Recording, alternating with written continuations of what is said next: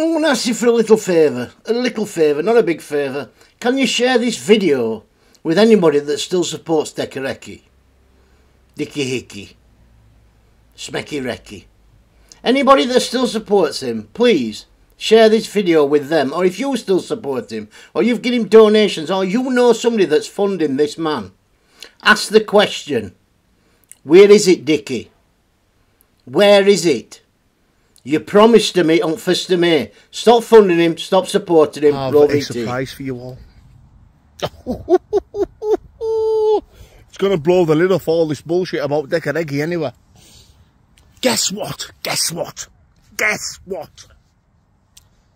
Decca Heggie's enhanced DBS check arrives in the next couple of weeks. Uh, no, uh, no, whoa, whoa, whoa, whoa. Here's a fucking better one for you.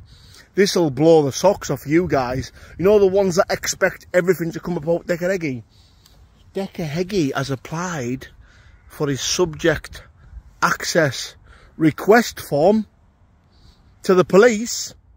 And if you go to my community page right now, you will see that.